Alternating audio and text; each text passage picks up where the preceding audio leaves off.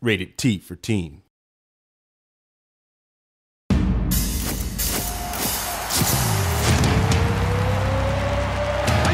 Ah!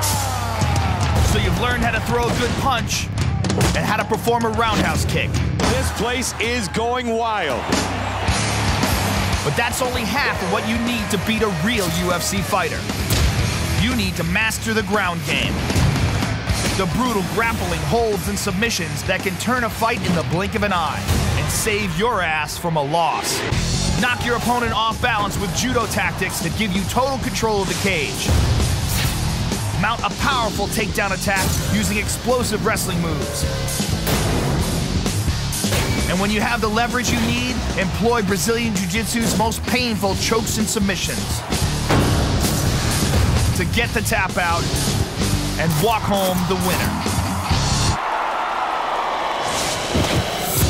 Becoming the Ultimate Fighter is about adapting to the fight and doing what you need to do, standing up or on the ground. Oh, landed a shot there. So you want to be a fighter? Well, it's time to prove it.